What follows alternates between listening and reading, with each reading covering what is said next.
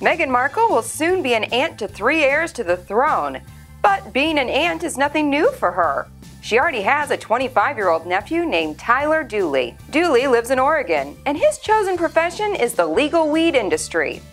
According to the Daily Mail, in honor of his aunt's upcoming nuptials, he's created a new strain of cannabis called Markle Sparkle. According to Dooley, he hasn't spoken to his aunt in three years, but he does remember her babysitting him as a kid, and he is sure she has, quote, an American view on pot. That being said, Dooley told the Daily Mail that he would welcome a visit from his aunt and soon to be Uncle Harry, if they are ever in Oregon, so he can, quote, educate them on the medical benefits of marijuana, which helps everything from post traumatic stress syndrome to insomnia to pain and cancer patients. While British views on marijuana are not as progressive as American views, Dooley is hopeful that his Uncle Harry would have an open mind because he, quote, enjoys a good party.